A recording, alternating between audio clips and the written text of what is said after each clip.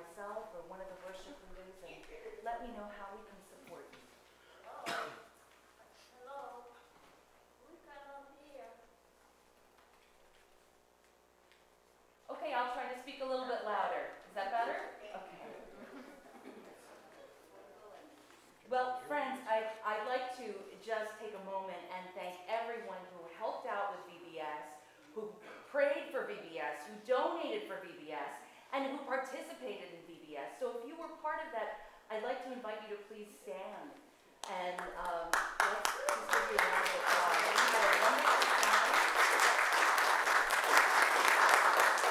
And that uh, explains why our sanctuary looks a little bit different today. Um, we are celebrating the theme, which was To Mars and Beyond. And we had a wonderful time hosting, uh, we had just about 60 children register for this.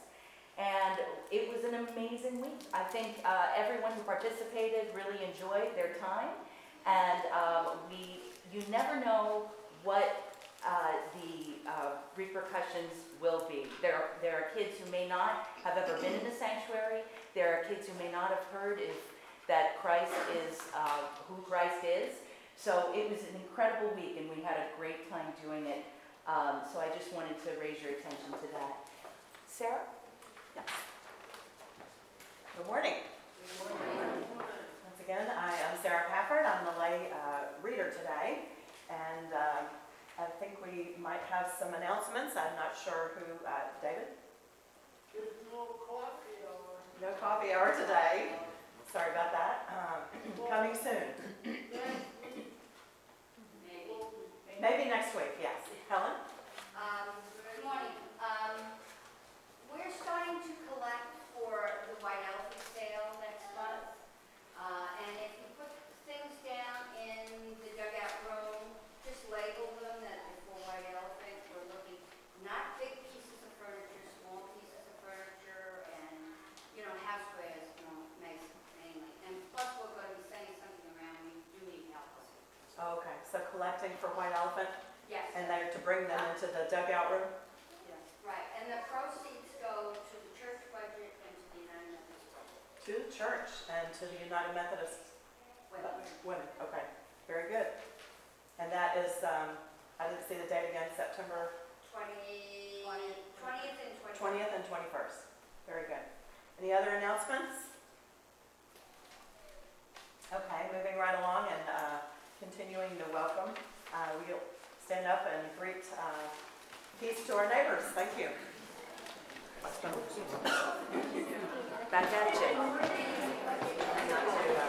cough. Peace. Oh. Peace,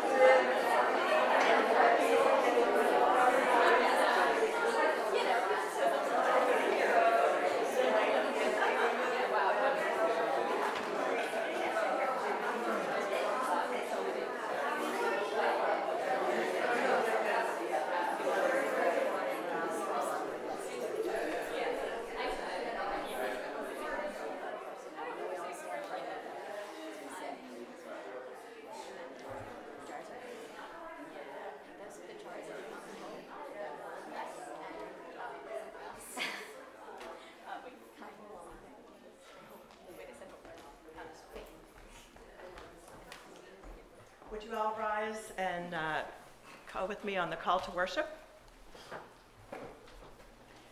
Look at the birds of the air. They neither sow nor reap nor gather into barns, and yet God provides for the basic sustenance of life. May our hearts be open to trust you. Look at the birds of the air. They neither study nor plan nor plot their course, and yet God writes the instinct for migra- migration into their hearts. May our eyes be open to see you. Look at the birds of the air. They neither talk nor vote nor debate their responsibility, yet God weaves them into communities which nurture and defend. May our hands be open to serve you. And the opening prayer today. Loving God, we come to you in worship and thanksgiving. You are greater than we can understand. Open our eyes that we may see the wonderful truths you have shown to us in Jesus. Amen. And join me in singing the first hymn uh, in the red uh, Methodist hymnal, The Church's One Foundation, uh, number 545, and we will be singing verses 1, 2, and 5.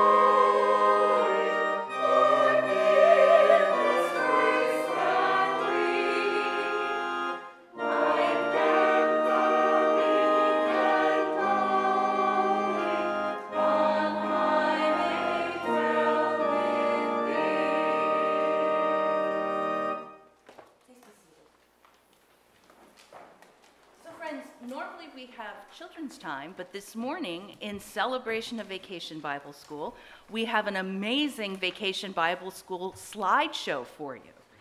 So um, I do want to take a moment to uh, lift up and call out Judy DeToma, who did an amazing job organizing Alice Tom, who put together the slideshow, our youth pastor, and she did so much of the work as well.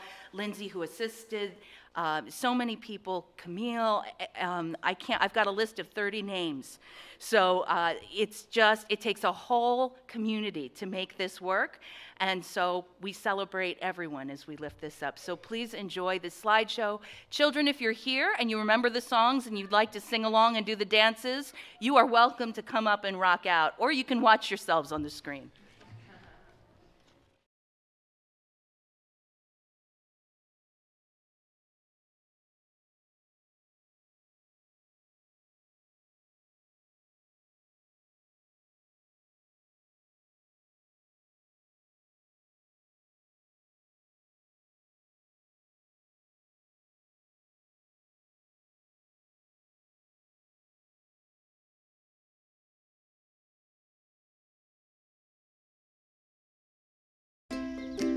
Summer. It's a great time of year, right? Sunshine, camping, concerts, ice cream. Summer was great, but fall can be just as fabulous and meaningful at the same time. More than the colorful trees, more than the pumpkin spice everything, more than even football. It's not just about going back to school or starting a new schedule, it's about turning over a new leaf, going new places, meeting new people, getting plugged into a place where you fit in and can make a difference. This fall, your family belongs here. Your kids belong here. Your grandparents belong here. Your friends belong here. You belong here.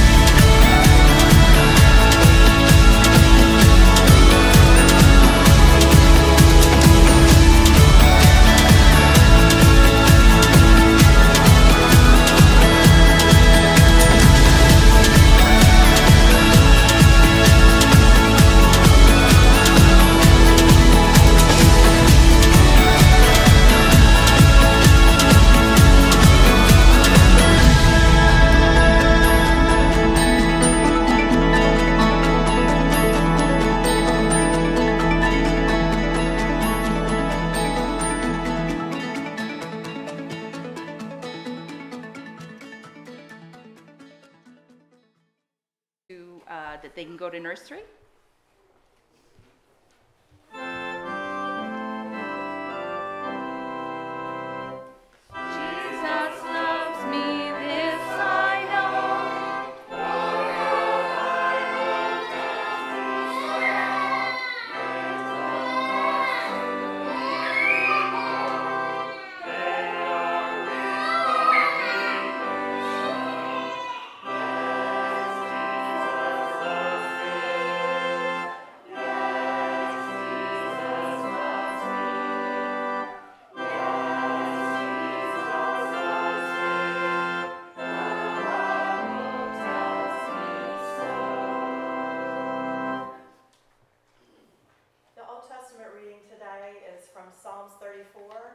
Verses 17 to 22. When the righteous cry for help, the Lord hears and rescues them from all their troubles. The Lord is near to brokenhearted and saves the crushed in spirit. Many are the afflictions of the righteous, but the Lord rescues them from all. He keeps all their bones, not one of them will be broken. Evil brings death to the wicked, and those who hate the righteous will be condemned. The Lord redeems the life of his servants. None of those who take refuge in him will be condemned. And the next reading is an uh, epistle reading from 1 Corinthians chapter 3 and verses 4 to 15. For, the, for when one says, I belong to Paul, and another, I belong to Apollos, are you not merely human? When then, what then is Apollos? What is Paul? Servants through whom you came to believe, as the Lord assigned to each. I planted, Apollos watered, but God gave the growth. So neither the one who plants nor the one who waters is anything, but only God who gives the growth. The one who plants and the one who waters have a common purpose, and each will receive wages according to the labor of each. But we are, are God's servants, working together. You are God's field, God's building. According to the grace of God given to me, like a skilled master builder, I laid a foundation, and somewhere else is building on it. Someone else. Each builder must choose with care how to build on it. For no one can lay any foundation other than the one that has been laid, and that foundation is Jesus Christ. Now, if anyone builds on the foundation with gold or silver, precious stones, wood, hay, or straw, the work of each builder will become visible, for the day will disclose it, because it will be revealed with fire, and the fire will test what sort of work has been done. If what has been built on the foundation survives, the builder will receive a reward. And if the work is burned up, the builder will suffer loss. The builder will be saved, but only as through fire.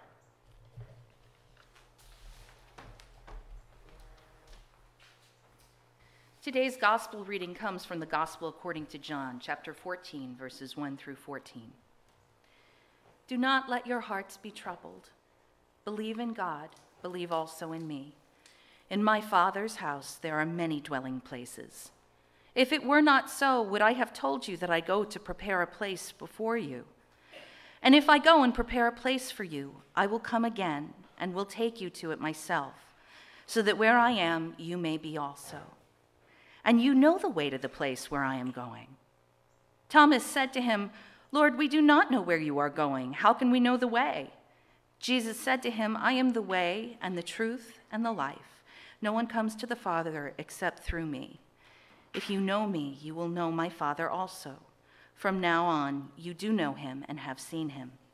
Philip said to him, Lord, show us the Father, and we will be satisfied. Jesus said to him, Have I been with you all this time, Philip, and you still do not know me? Whoever has seen me has seen the Father. How can you say, Show us the Father? Do you not believe that I am in the Father and the Father is in me? The words that I say to you, I do not speak on my own, but the Father who dwells in me does his works. Believe me that I am in the Father, and the Father is in me. But if you do not, then believe me because of the works themselves. Very truly, I tell you, the one who believes in me will also do the works that I do, and in fact will do greater works than these, because I am going to the Father. I will do whatever you ask in my name, so that the Father may be glorified in the Son. And if in my name you ask me for anything, I will do it. God's word for us today. Who is a fan of the beach? Yes. Favorite beaches? Call them out. I like Seven Presidents in Long Branch. That's one of my favorites. Grace Beach on Cape Cod. Diane would probably agree with you. Belmar. Belmar? Wonderful. Ocean Grove. Ocean Grove. Long Beach Island. Beautiful. Beach Island. Yes, yes. Waikiki. Yes. Seattle. Sandy Hook. Seattle. Yes, Seattle. Absolutely. Bermuda. Oh, with the pink sand. Beautiful, beautiful. Any other favorites? Cape May. Cape May, yes. I did a wedding there once. It was so pretty. So, when I was little, I grew up in a small town near the ocean called Long Branch. And it's changed over the years, but its tourist appeal has only grown since I was little. Now, when I was little, I didn't really think of it as a vacation town. We were there all year round, so that was just kind of what it was. It just got quieter in the winter. But regardless of whether it was 30 years ago or now, Long Branch was one of the best places to visit the beach. And I always loved to swim and look for shells and walk along the ocean. But of all the things that I loved, one of my favorites was building sandcastles with my family. Now, those of you who have tried your hand at sandcastle building know that it's both an art and a science. Now, they have now uh, these beautiful sandcastle uh, festivals where they build these huge, amazing pieces of art in sand. Um, occasionally, you'll see them in Point Pleasant Beach or Ocean Grove, and it, it just blows your mind how someone can actually sculpt with sand and make these amazing structures. But I was just an amateur. Nonetheless, no matter how pretty you want to make it on the outside, you must remember that a sandcastle must be built solid from the ground up. And whether you use pails and shovels, spare shells, or your own hands, one of the most important things that you need to do while building is to choose the right spot. If you build too close to the ocean, the tide could come in and easily wipe away your work in seconds. I've had that happen. If you build too close to the beach blankets, other children can very easily run through what you created and destroy it very, very quickly. Before you even start to create your sand masterpiece, you need to be sure that you have a solid foundation and a good spot if you want it to last. See, good foundations are essential to good building.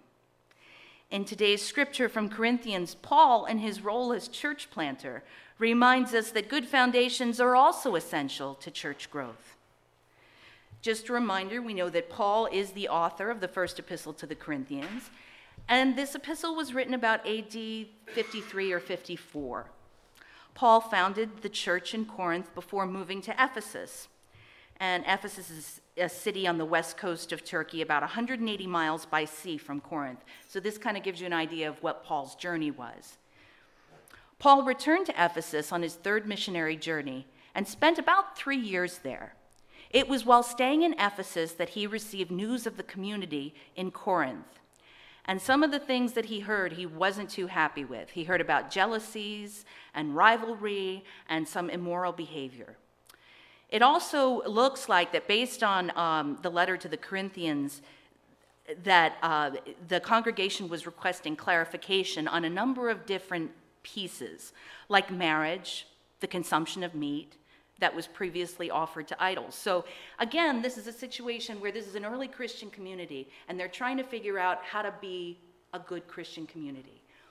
What do they have to leave behind from uh, pagan worship or the other ways that they used to worship or non worship? And what do they have to take on in order to be a good Christian community? So, Corinth was an important and wealthy city on the isthmus, that's the narrow strip of land separating northern and southern Greece. Paul spent 18 months there on his second missionary journey.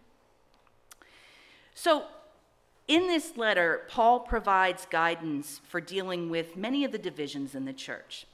And I found some really interesting pieces about today's scripture. So, first off, Paul makes a really important point as he explains his role and the role of Apollos in growing the Corinthian church. So he starts by correcting the misunderstanding that the Corinthian Christians have of their leaders. He says they focus their attention on Apollos and Paul as if Apollos and Paul were divine figures. So that's a big problem.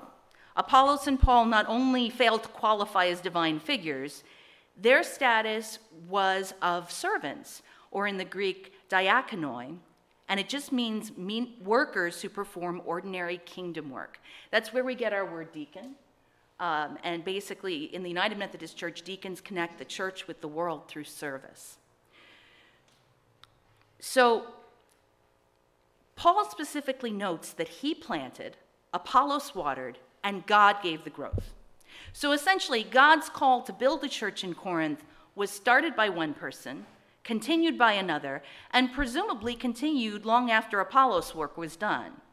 So Paul reminds us that although he and Apollos worked to build the church, God was behind each and every step of the process. So basically, Paul wasn't working to build Paul's church. Apollos wasn't working to build Apollos' church. Both of these servants were working together to build God's holy church. So that's an important distinction. Just like the early church, we have many servants in the local church working to make disciples in the name of Jesus Christ. Whether it's a pastor, Pastor Frank, Pastor Cindy, or myself, we're all working in conjunction with the people of the church to grow the church for Jesus. Paul notes that ego should not be a part of it, whether it's clergy or lay, though we have different gifts and talents for serving. God's the one that gives the growth. Not us, but God. I found this really striking. John Wesley, in his commentary on the New Testament, notes that the ministers are still surely instruments in God's hand and depend as entirely as ever on God's blessing to give the increase to their labors. Without this, they are nothing. With it, their part is so small that they hardly deserve to be mentioned. So, Wesley's point is that we're all working together for the good of Jesus Christ. Another important piece of the scripture goes back to my discussion of sandcastles. According to the grace, excuse me, God has given to me, like a skilled master builder, I laid a foundation, someone else is building on it. Paul chose a solid foundation to build his church on.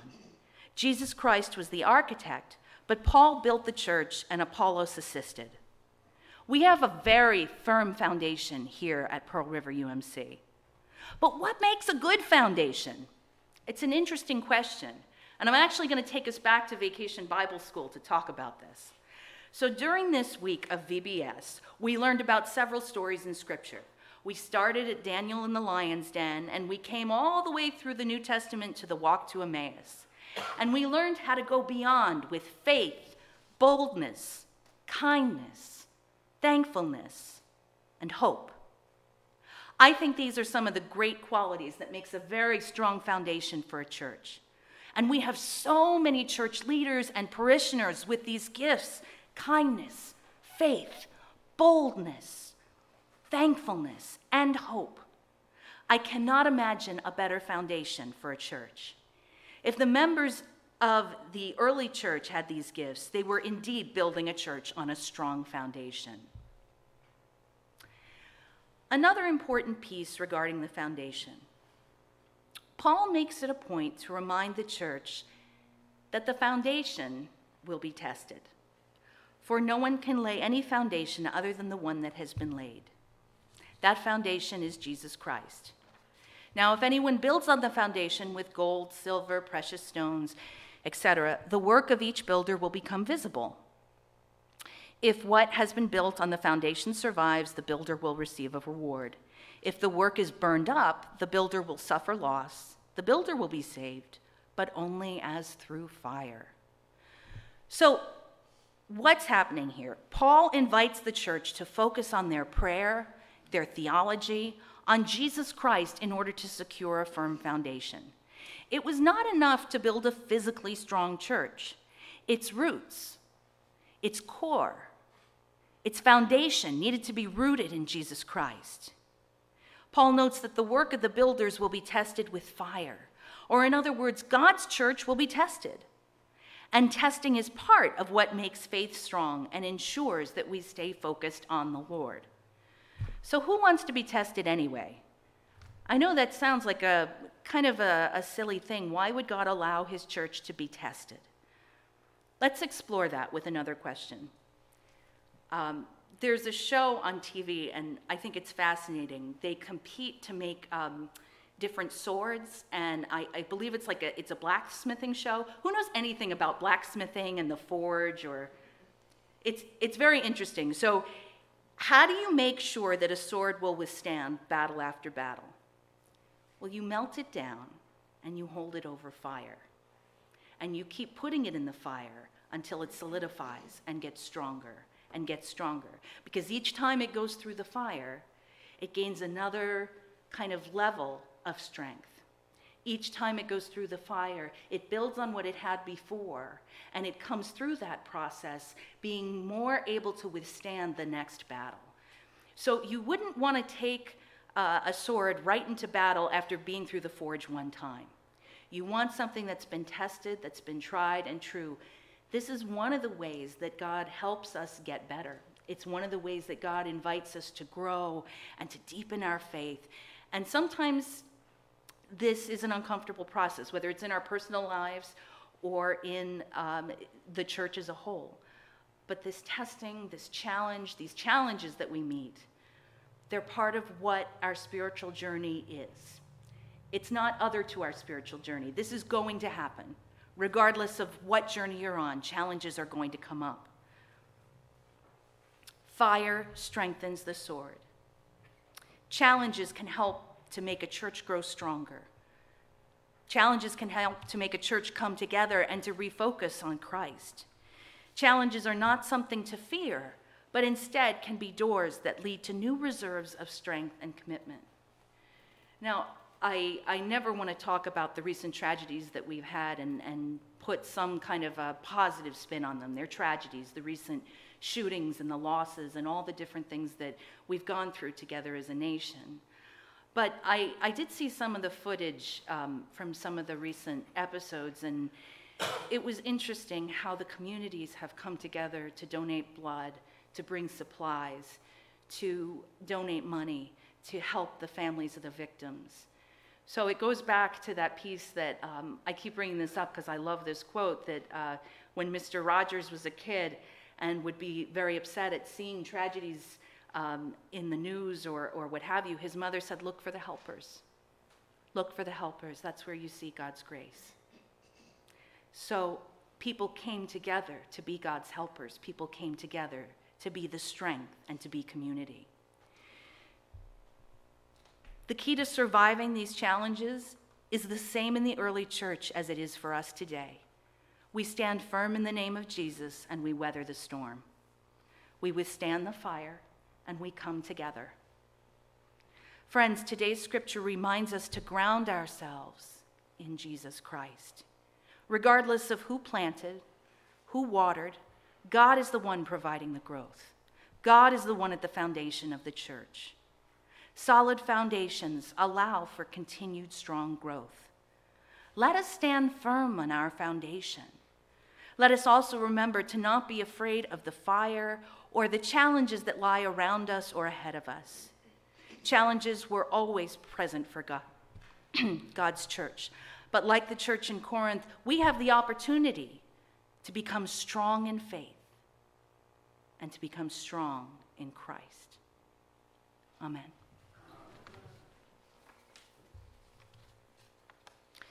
Friends, at this time, I invite you, if you're able, to please rise for the next hymn, You Satisfy the Hungry Heart.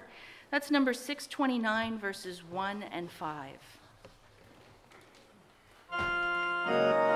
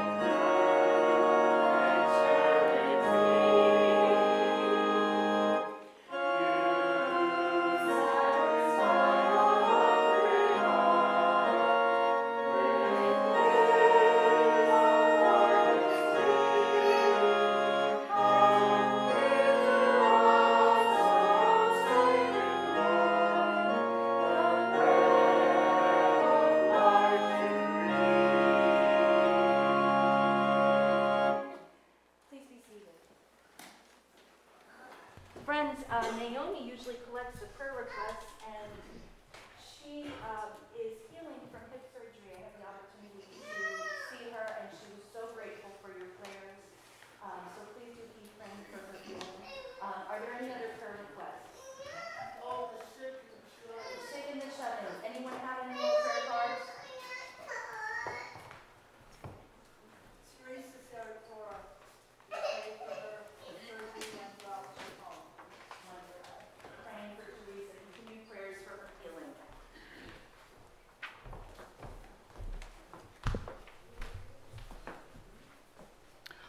Also, um, we received a prayer request from Rena and Bill. Uh, Beverly Wanamaker is having major surgery Wednesday, so let us pray especially for her healing on Wednesday, um, that uh, God is with the doctors and nurses and all in her care, and that she may see significant progress and healing from this. Um, we also have a couple of other requests. Uh, Patricia, Rena's mom, was admitted to the hospital last night. I'm so sorry to hear that. So let us uh, surround Patricia with our healing prayers um, and let us surround the family that they may be filled with strength as they attend to her. Also, Bill's mom, Mary, is having minor surgery tomorrow. I'm sorry to hear that, Bill. There's a lot going on for you guys. So, lifting up God's protection and prayers around each and every one of you, both the family and the ones going through uh, these surgeries and the healing. And um, we as a community wrap our love and our warmth around you as uh, you all go through these uh, difficult times. Any other prayer requests that we'd like to Pastor lift? Jean? Sorry, just prayers for Martha and her family as she goes back to college on Thursday. Absolutely. Prayers from Martha and her family. And Martha did an amazing job at Vacation Bible School last week. We were really blessed to have her. So, prayers for Martha surrounding her for her success in school and uh, for her entire family as it's difficult to send someone home to college. So, um, let's surround them with love and? Okay. And, and continued prayers for David for healing. Any other prayer requests? Friends, let us pray. Praise to you, God, for long warm days, for buzzing bees and chirping crickets, for shade trees and gentle breezes. Praise to you for the earth's rotation, for our cycle around the sun, for sun, moon, and stars in their courses above. Praise to you for the order of the universe, the variety of the seasons, and the gift of another summer. Lord, today we raise our prayers of joy and our prayers of concern. Today we especially lift up Beverly. Please, Lord, continue to surround her with healing, and Patricia as well, and Mary. Lord, we also lift up David for healing, and we lift up Teresa as well for continued healing. Lord, we also lift up Martha as she goes back to school. Be with her and her family. And Lord, we lift up our church and its ministries, our active military veterans and their families, all first responders, the homeless and those who lost their jobs, our homebound members, including Charlotte. We, have, uh, we ask for prayers for strength, courage, and safety for Michael as he leaves for boot camp. We ask prayers for Myrna Richards and her family on the passing of her son in law. We lift up Peggy, Jim, Edeline, Lisa, Alice, Jack, Rose, Amy, Doris, Jim, Marilee, Tom, Kathy, Teresa, Margaret, Ed, Roger, Winnie, Jenny and her family, Kristen and McKee, Joan, Jerry, Charlotte, Alan, Carlene, Naomi, Johnny, Joanne, Larry, Michael, Cheryl, and Joan. And all those prayers known only to us as we come to you, Lord, with the boldness of the children of God, as we share in the prayer together. Our Father, who art in heaven, hallowed be thy name. Thy kingdom come, thy will be done, on earth as it is in heaven. Give us this day our daily bread, and forgive us our trespasses, as we forgive those who trespass against us. And lead us not into temptation, but deliver us from evil. For thine is the kingdom, and the power, and the glory forever. Amen. Ushers, just hold on one moment. We have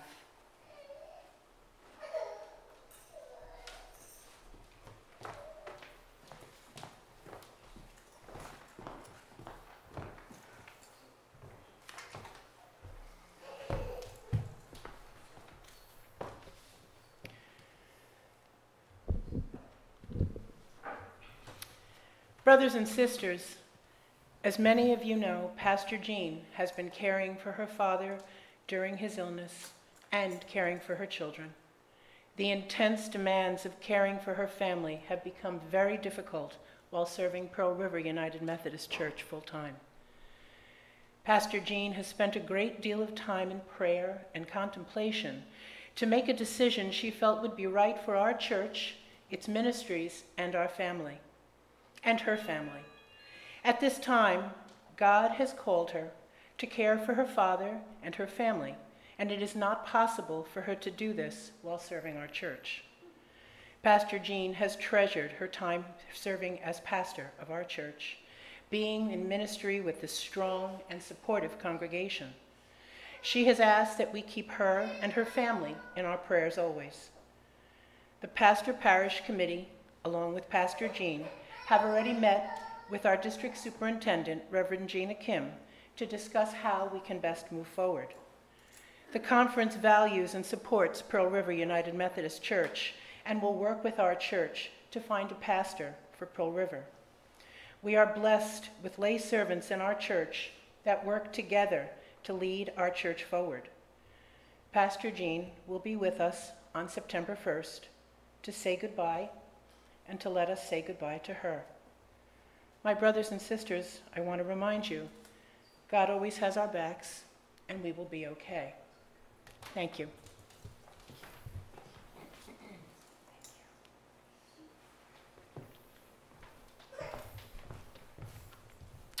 Friends, please continue to keep my family uh, in prayer. And I'll say a few more words next week of goodbye, we'll save that for then. Thank you for your prayers.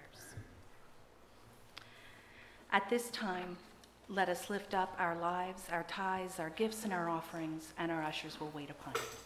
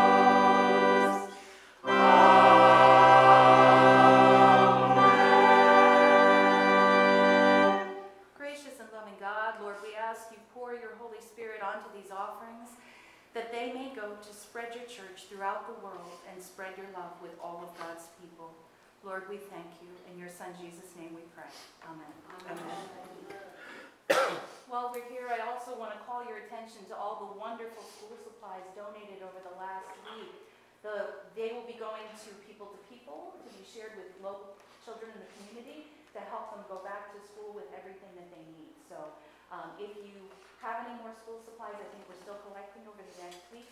You're welcome to continue to bring them into the church office, and every little bit helps. So please, please think about that. Thank you.